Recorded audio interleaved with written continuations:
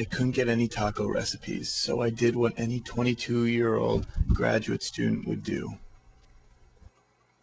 Do you want to stop what you're doing and maybe make some tacos? I'm just carrying a microphone around. I thought it'd be a good idea. I think being that you have a microphone and some taco ingredients, why not do this? My name is Max. This is David, and we're going to make some tacos.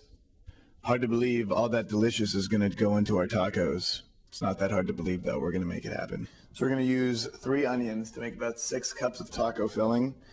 And just be sure you cut off the edges. And uh, I'm going to peel this bad boy right now. So uh, one of the assignments we had to do for this blog, Dave, was a Q&A. And so I think now would be a good time for a little Q&A. A little too emotional right now. How do you like these onions? It's really, it's really tough. Is that the first question, or is that just a pre-question to the Q and A? Oh my God, it's so bad right now. It really is. This is unscripted, holy frijoles, chopping onions. Oh, it gets, it gets worse because then you start crying it when you open your eyes and just it's like, oh.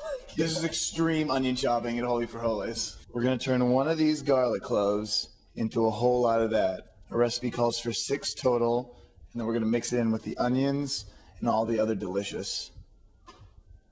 There you see a tablespoon of cumin, a tablespoon of chili powder, a tablespoon of coriander, and six minced garlic cloves.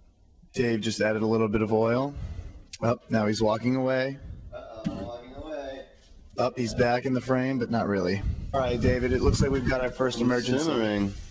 Well, this is why I take a lot of improv classes. And make tacos.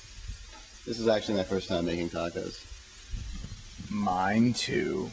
Whammy. All right, here comes the delicious. Go ahead and do it, Dave. Do it up. Do it up. Oh, that looks great. I hope this is good. It's probably not going to be though.